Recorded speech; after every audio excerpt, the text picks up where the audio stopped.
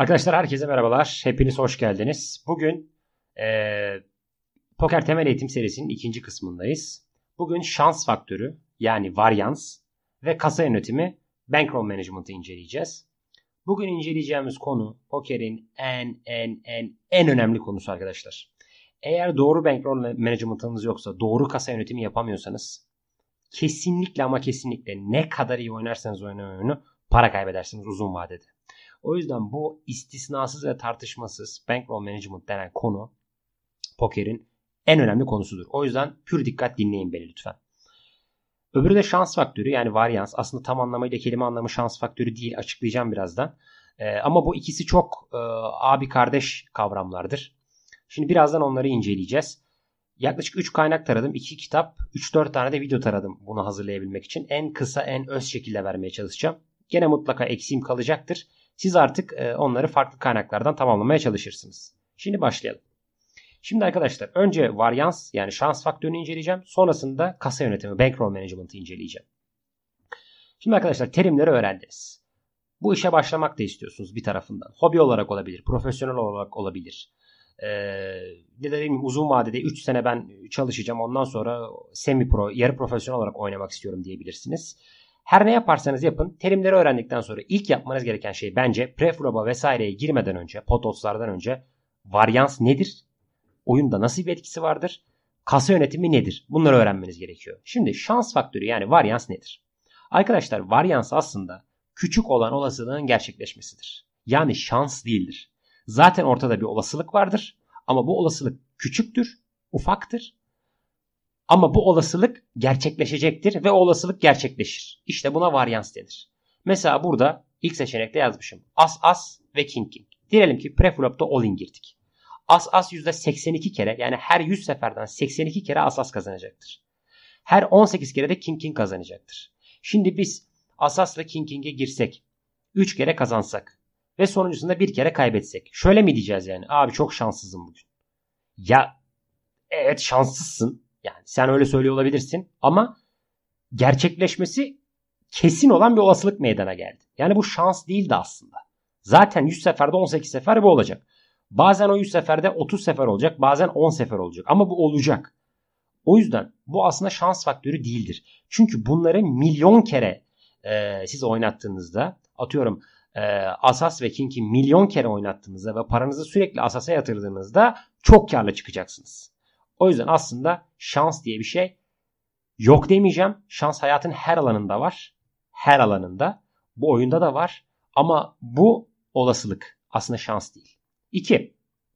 Kısa vadede şans en önemli faktör olmasına rağmen uzun vadede beceri önceliklidir. Kesinlikle öyle. Neden? Çünkü kısa vadede asas asas ve king king mesela king king elinizde adamın elinde asas var. 5 kere üst üste kazanabilirsiniz. Ya da 4 kere üst üste kazanabilirsiniz. Bu sizin ondan daha iyi oyuncu olduğunuzu mu gösterir? Hayır. Tam tersi de olabilir. Daha kötü mü oyuncusunuz? Hayır. Ama kısa vadede şanslıydınız. Ne bileyim adam flash yakaladı siz full house yakaladınız ve kazandınız. Ama uzun vadede bu böyle olmayacak. O yüzden kısa vadede şans faktörü en önemli faktör olmasına rağmen uzun vadede beceriniz yani bu işi yapmak için skilliniz en önemli e, faktördür oyundaki. O yüzden kendinizi sürekli geliştirmeye çalışın. Varyans yani bu dediğimiz olayla ilgili bu iki şekilde meydana gelir arkadaşlar. Ee, bir preflop da olabilir bir de postflop da olabilir. Preflop'ta mesela dediğim gibi Asas ve King King girdik kaybettim. %18 kere King King kazanacak. Veya postflop'ta ne bileyim e, elime flash geldi rakipte full house var ve ben all in girdi ben de all in girdim ve kaybettim. Bu olabilecek gayet olabilecek bir şey. Peki biz bunlara karşı nasıl mücadele ediyoruz? İki temel yöntem var arkadaşlar. Bir doğru kasa yönetimi. Doğru bankroll management. Swingler birazdan anlatacağım swingin ne olduğunu ve dalgalanmalara, fluctuation'lara karşı direnebilme gücünüz olması için doğru kasa yönetimi yapmanız lazım. Yani sizin tabiri yani özetle şu.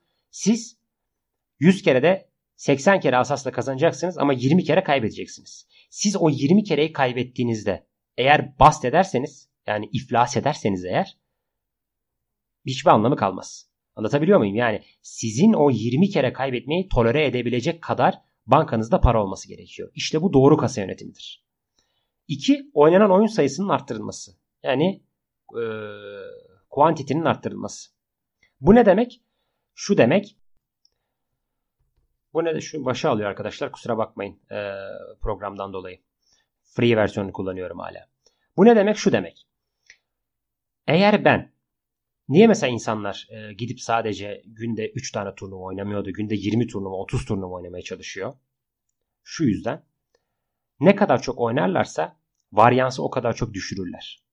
Yani ne kadar çok asas king king kalırlarsa çünkü yüzdelik dilimde olacak şey belli. 80 kez asas kazanacak, 20 kez king king kazanacak. O yüzden bu 100 sefere ulaşmaya çalışıyorlar. O yüzden bol bol oynamanız lazım. Yani günde bir tane turnuva oynar bırakırsanız ya da iki tane turnuva oynar bırakırsanız o sefere de king king'e kaybettiğiniz denk gelirse işte o zaman sıkıntıya girersiniz. Hem bankroll olarak hem de mental olarak sıkıntıya girersiniz. O yüzden iki temel çözüm bu.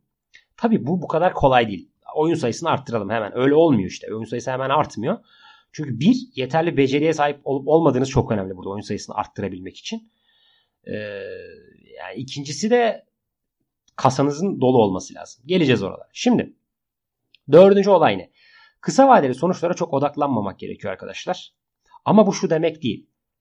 Şimdi diğer madde de o. Bakın yazmışım. Kaybettiğinizde direkt olarak varyansı sebep göstermek yerine gerçekten öncelikle doğru oynayıp oynamadığınızdan emin olmamız lazım. Çünkü bizim oyunda kontrolümüz olan tek şey doğru kararları vermektir. Yani bizim istediğimiz senaryo hep asasla King King'e karşı karşı gelmektir. Çünkü biz matematik olarak favoriyiz ve eninde sonunda biz kazanacağız orada. Tek ihtiyacımız olan şey doğru kasa yönetimi bu kadar. Ama bu şu demek değil. Şimdi atıyorum, misal veriyorum. Siz preflop'ta işte As3 offsuite ile under the gun'dan raise ediyorsunuz. Late position'dan birisi sizi 3 betliyor ve siz call ediyorsunuz. Standart bir senaryo sayın. Zaman zaman bu doğru da olabilir ama normal genel olarak %95 oranında yanlıştır bu. Diyelim ki flop'ta da öyle bir flop açılıyor ki siz set yakalıyorsunuz. Rakibiniz de e, flash yakalıyor. River'a giderken. Şimdi siz kaybettiniz. Ah ulan ne var yansımış Allah kahretsin böyle şeyi. Ben çok şanssız bir adamım mı diyeceksiniz. Yani burada sıkıntı varyansta değil. Burada sıkıntı şans faktöründe değil. Burada sıkıntı sizsiniz. Siz yeteri kadar iyi oynamadığınız için kaybettiniz. Siz doğru hamleyi yapmadığınız için kaybettiniz. Şans da yanınızda olmadı doğru. Ama siz gerçekten doğru oynayıp oynamadığınızdan emin olmanız gerekiyor. Yani mesela 5-7 offsuite ile UTG 2'den aşılış yaparsanız ya da out of position'dan abuk subuk ellerle kol ederseniz raze'leri ondan sonra tutup varyansı suçlu gösteremezsiniz. Çünkü orada sıkıntısı olan yanlış oynayan sizsiniz. Varyans sizin elinizde olmayan şekildeki şekilde çıkan e, meselelerle ilgilidir. Anlatabildim mi ne demek istediğim? Yani doğru oynayıp oynamadığınızdan emin olun. Şans faktörünü suçlamadan önce. Çünkü ben çok görüyorum yani Facebook grubunda da var. Bir ton arkadaş işte şöyle böyle bilmem ne. Ya tamam evet doğru haklısın yani. Yapacak bir şey yok. Bazen gerçekten şanssızlık oluyor. Çok da oluyor hatta. Bazen de değil oluyor. Ama sen yapmaman gereken bir şey yapmışsın reflopta ya da flopta yapmaman gereken bir şey yapmışsın. Yani burada suçlu sensin. Umarım anlatabilmişimdir. Devam edelim. Şimdi arkadaşlar ben daha kafanızda canlanması için iki tane e, internetten şey buldum. E, grafik buldum. Bir tanesi aylık sanırım. Bir tanesi de şey e, yıllık gibi bir şey. Rakamlara çok takılmayın. Ben sadece mouse oynatamıyorum şu an. Şey gidecek. Tam ekran gidecek. O yüzden e, anlattığım yerleri anlayacaksınız zaten. Şimdi bu bir grafik. Burada ne grafiği? Solda kazanılan para yazıyor. Aşağıda da oynanan el sayısı yazıyor. Grafik bunun üzerine kurulu. Şimdi mavi çizgiyi görüyorsunuz. Mavi çizgi ne biliyor musunuz arkadaşlar? Siz gerçekten iyi oynuyorsanız o mavi çizgi bir yılın veya iki yılın sonunda o şekilde devam edecektir. Siz iyi oynuyorsanız ve doğru kasa yönetimiyle devam ediyorsanız mutlaka yukarı gideceksiniz. Bir yılda belki aşağı ineceksiniz, ikinci yılda gideceksiniz. İkinci yılda olmayacak, üçüncü yılda gideceksiniz. Ama illaki gideceksiniz. Peki yeşil çizgi ne? Hiçbir zaman mavi şekilde gidemeyeceksiniz ama. Hiçbir zaman mavi çizgiyle aynı paralelde gidemeyeceksiniz. Her zaman yeşil şekilde gideceksiniz. Yeşil ne? Yeşil bildiğiniz hayatın ta kendisi işte. Oynadığınız oyunun ta kendisi. İnişler, çıkışlar, keskin inişler, keskin e, yükselişler. İşte bu tam bir grafik. Ha bu adam çok ufak stakeslerde oynuyor. Fark ettiyseniz solda Manivon'da 100 dolar falan yazıyor. Ee, çok az stakeslerde oynuyor ama zaten büyük stakeslerde de olay bu aslında. Şimdi baktığınızda varyans çizgisi çizmiş kırmızı koymuş şöyle. Onlar ne biliyor musunuz arkadaşlar? Sizin de dönem dönem King King ile Asas'a karşı kazandığınız zamanlar olacak. Sizin de dönem dönem Flash Draw'la e, sete yani Flash flash draw'la seti yendiğiniz durumlar olacak. İşte bu yani varyans sadece size karşı çalışan bir şey değil. Sizin tarafınıza da çalışabilecek bir şey sizin içinde. İşte bunlar varyans. Bakın nasıl yükselmiş orada görüyor musunuz? 35 bininci elde o civarda nasıl yükselmiş. Aynı şekilde tersine bakın grafiği. 89 bin 90 bininci elde de nasıl düşmüş. Şimdi yani 80 binden 90 bine kadar nasıl düşmüş. Şimdi bunun farklı sebepleri olabilir. Kötü oynuyor da olabilirsiniz bir miktar. Bir miktar şanssız da olabilirsiniz. Ama işte burada kasa yönetiminin devreye girdiği an bu. Eğer siz bu swingleri yani bu iniş çıkışları kaldıracak kadar banka hesabınızda para yoksa o zaman iflas edersiniz. İşte kasa yönetiminin önemli olduğu kısım bu. Siz bunları tolere edebileceksiniz ki iyi oyununuzu gösterebilirsiniz uzun vadede. Kasa yönetiminin olayı tamamen bu. Burada ufak şeyde 94 bin ele oynamış adam 50 dolar kazanmış. Çok ufak stakeslerde oynuyor. Big Blind kazandığı rakamı gösterir. Çok takılmayın rakamlara. Ne anlatmak istediğimi umarım anlamışsınızdır. Bir grafimiz, grafımız daha var. Burada da sol tarafta bu sefer grafik değişik. Big Blind kazanılmış. Big Blind üzerinden hesaplıyor. Aşağıda da oynanan el sayısı var gene. Solda ama e, Big Blind üzerinden hesaplıyor. Yani dolar cinsinden değil. Onu biz Big Blind ile çarpıyoruz. Bu adam daha büyük stakeslerde oynuyor. 117 bin el, 117 bin el oynamış. Toplamda 3000 dolar para kazanmış. Şimdi arkadaşlar burada anlatmış hepsini. Mavi çizgi sizin bizim olmasını istediğimiz şey. İyi oynuyoruz. Evet varyansla karşılaşıyor muyuz? Karşılaşıyoruz ama hedefimiz daima ileri. Upswinglere bakın. Yükselişler. Bunlar da aslında varyanstır. Yani iyi oynuyor olabilirsiniz e, zaman zaman ama e, varyansın da katkısı olabilir. Bakın görüyorsunuz upswingleri. 3 tane kırmızı çizgi. Expected win rate de tam ortadaki mavi çizgi. Olmak istediğimiz şey. Beklenen kazanç oranı. Downswing'i görüyorsunuz değil mi? Orada bir düşüş yaşıyor. Varyans da tam şu aslında. Expected win rate ile yani beklenen kazanç oranıyla şu anda sizin bulunduğunuz durum arasındaki elinizde olmayan sebeplerle oluşmuş fark. Tekrar edemeyeceğim aynı cümleyi kuramayacağım. Bir daha geri sarın dinleyin. Çok önemli bir laf ettim. Beklenen kazanç oranıyla elinizde olmayan sebeplerle oluşmuş grafik arasındaki fark.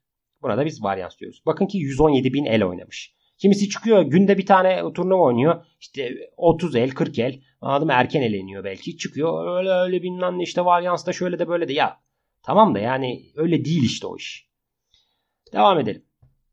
Bitti arkadaşlar varyans kısmı. Varyansı daha araştırmak istiyorsanız gidin YouTube'a ne olduğunu bakın, öğrenin. Videolar var. Çok da eğlenceli videolar var mesela. Asas Asas'a kaybediyor. Alın size varyansın babası yani Flash'la kaybediyor falan. Ee, çok eğlenceli videolar var. Buyurun izleyin, araştırın. Varyans bu arada sadece şey için geçerli değil. Ee, poker için geçerli değil. Sermaye piyasalarında da var. Her yerde var yani. Her yer. Hayatın kendisinde de var arkadaşlar. Yani varyans, e, şans diyelim. Düşüp bacağınızı kırabilirsiniz çok önemli bir iş görüşmesine giderken falan filan. Yani bir ton şey yol kazası. Şimdi kasa yönetimine yani bankroll management'a geliyorum. Bankroll management nedir arkadaşlar?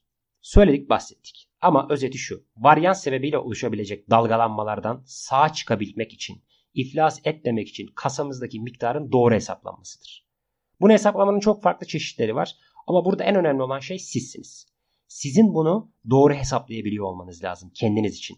Benim becerim ne? Ben 1-2 mi oynuyorum? 0-51 mi oynuyorum? Online mi oynuyorum? Live mi oynuyorum? 2-5 mi oynuyorum? 5-10 mu oynuyorum? Cash mi oynuyorum? Turnuva mı oynuyorum? Ne kadar iyi oynuyorum? Çok doğru ve objektif bir şekilde kendinizi analiz edebiliyor olmanız lazım ki kasa yönetimini doğru becerebilin. Kasa yönetimi sadece az sonra vereceğim matematiksel, rakam, matematiksel rakamlardan ibaret bir şey değil. Sizle de çok ilgili.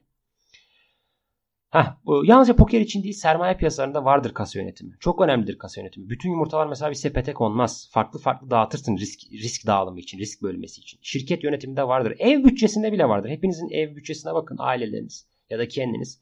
E, beklenmedik şeyler olabiliyor. Sağlık sıkıntıları çıkabiliyor. Ne bileyim işte ülkede enflasyon artıyor, işsiz kalabiliyorsunuz. Daha iyi bir iş buluyorsunuz bir anda ama çok ters bir durum oluyor. Bunlar her alanda oluyor. O yüzden doğru yönetebilmek önemli bunları. Peki üçüncü olarak bu benim dahil olduğum bir grup arkadaşlar. Ben bu işi hobi olarak yapıyorum. Yarı profesyonel de değilim, profesyonel de değilim. Ben bu işi keyfine oynuyorum, zevk alarak oynuyorum. E, analizinden, incelemesinden. Gidip ben online oynamayı da çok sevmiyorum. Arada giriyorum, oynuyorum. E, maalesef yerel sitelerden oynamak durumunda kalıyoruz. Yasaklı olduğumuz için. E, yani ülkede yasaklı olduğu için.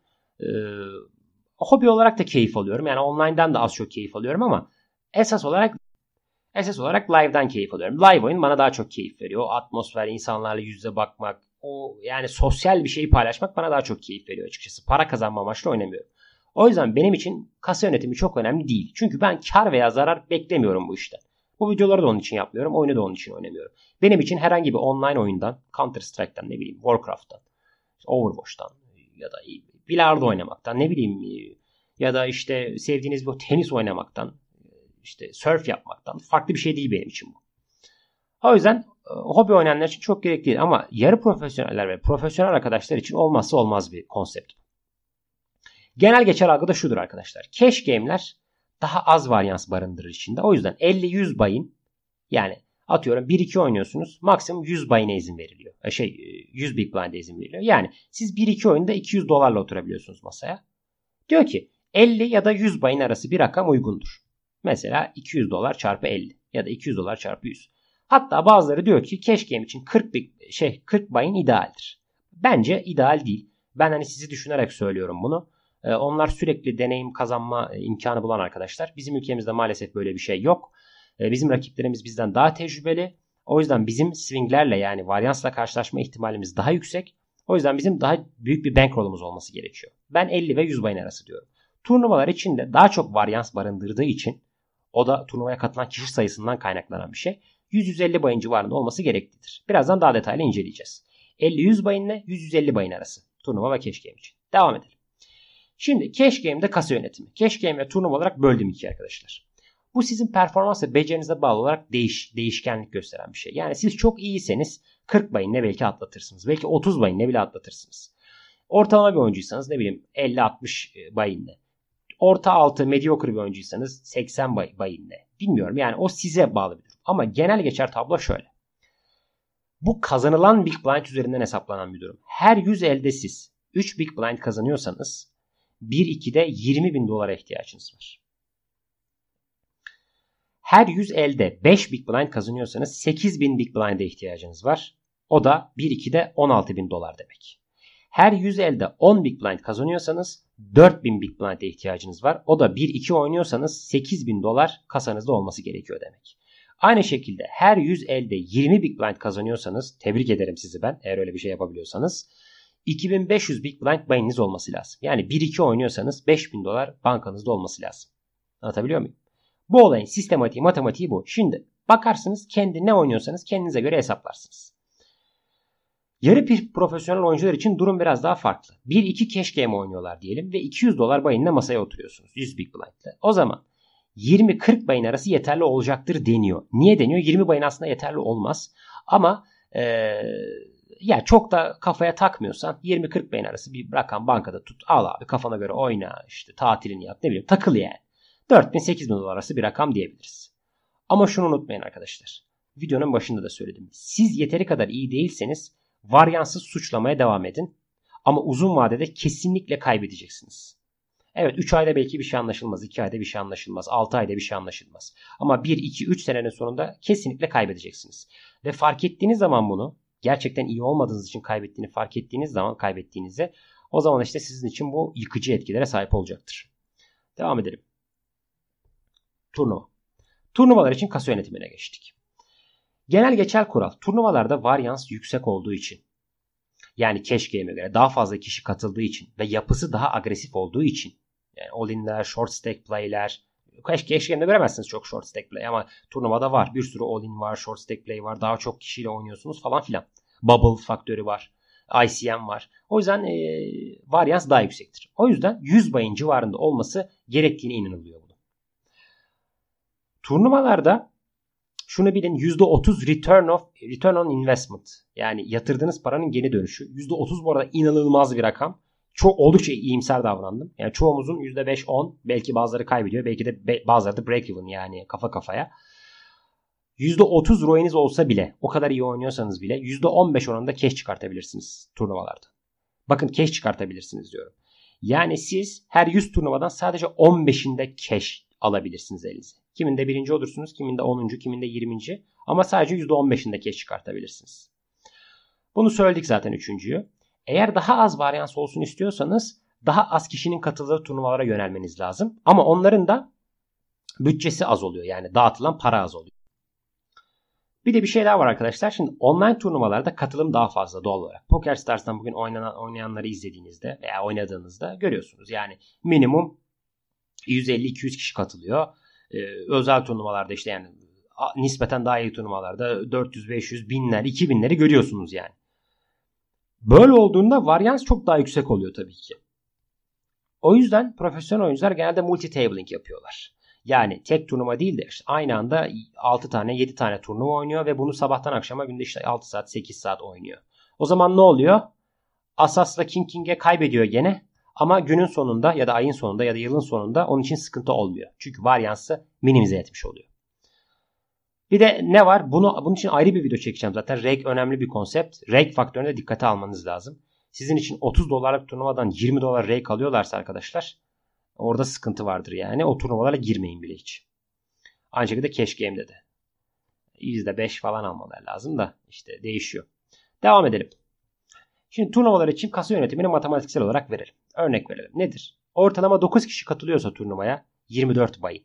Yani diyelim 9 kişinin katıldığı 20 dolarlık ortalama oynuyorsunuz. Siz 20 dolar 24 bayın gerekiyor size. Ortalama 45 kişi katılıyorsa 69-70 bayın gerekiyor oynadığınız fiyat üzerinden. 90 kişi katılıyorsa 103. 245 kişi katılıyorsa ortalama 154. Bakın nasıl artıyor bayın sayısı.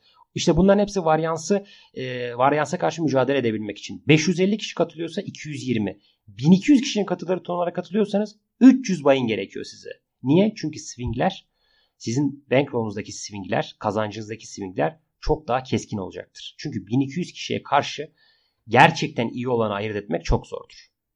Anlatabiliyor muyum? Yani Asas'la 3-5'e karşı kaybedebilirsiniz. Olabilir bunlar. Buradaki rakamlamaları ben uydurmadım e, tabii ki. Gerçekten ciddi kaynaklardan alınmış rakamlar bunlar. Bu rakamlara güvenebilirsiniz. Devam edelim. Şimdi benim için en önemli kısma geldik arkadaşlar. Uyarılar.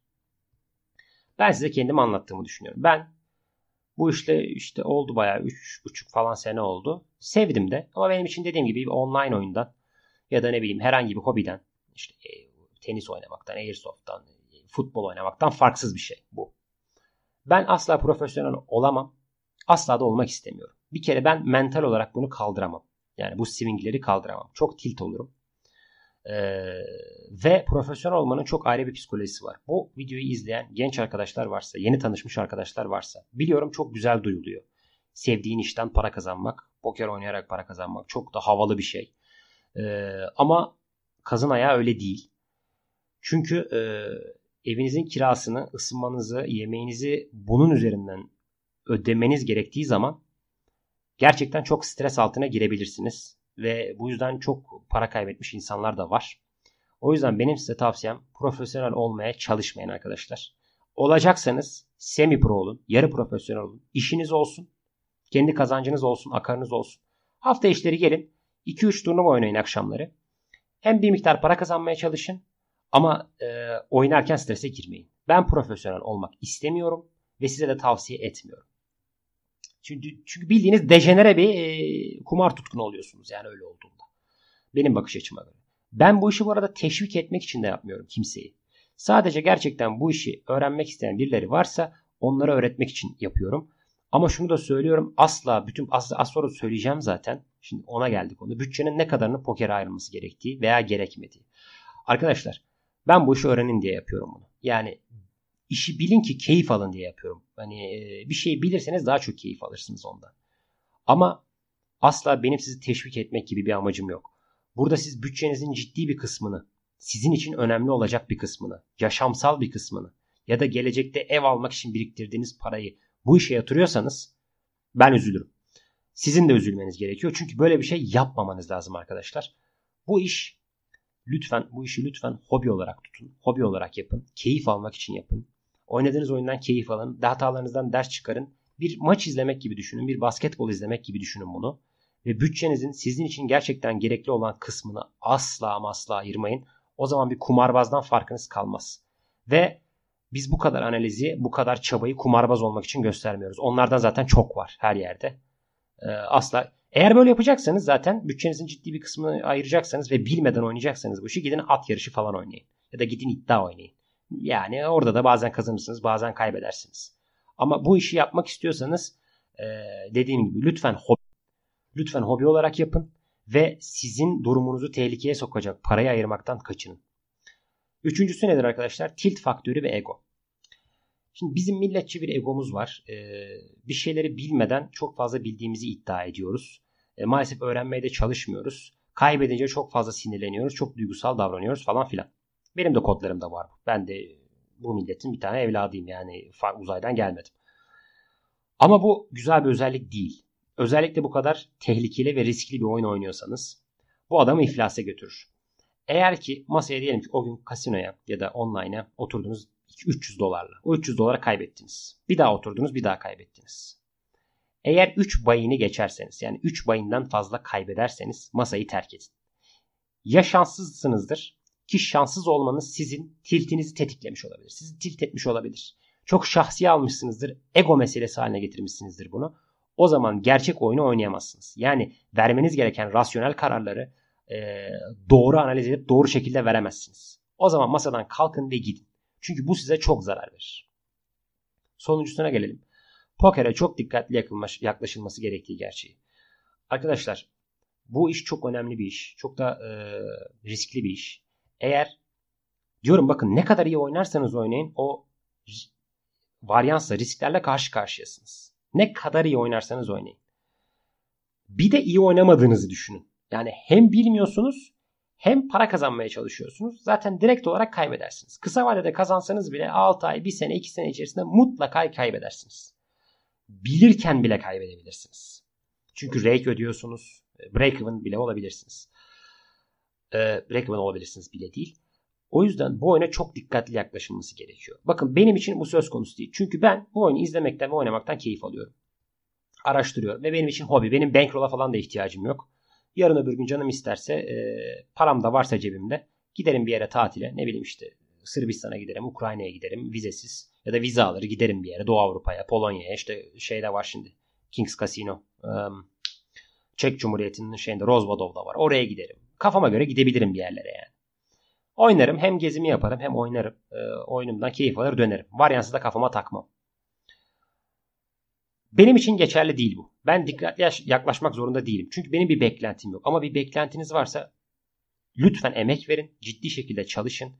Ve e, sizi riske atacak bir parayı bu oyuna sokmayın arkadaşlar. Çünkü uzun vadede çok pişman olursunuz o zaman. Ben bunu yaşayan insan, ben yaşamadım ama yaşayan insanlarla konuştum. Ne kadar pişman olduklarını gördüm. Yaşarken ne kadar dejenere biçimde yaşadıklarını gördüm. Ee, ve yani ve yakınlarımdan e, birisiydi. Gerçekten çok kötü bir durum.